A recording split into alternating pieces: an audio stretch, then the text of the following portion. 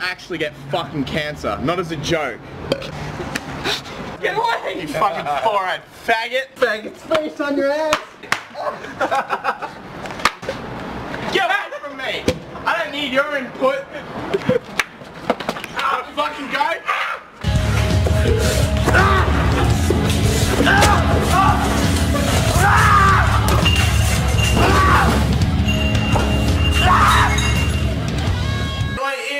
Fucking ringing. I need to go to hospital. Why would you throw something solid, you cockhead? You could have actually killed us. You got into a fucking